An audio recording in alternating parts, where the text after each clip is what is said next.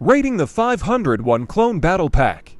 Character are very nice and love the helmet accessory 10 tenths. The gun is made well with a spring-loaded shooter. The back gun tilts up and down and a place for your figure to sit 10 tenths.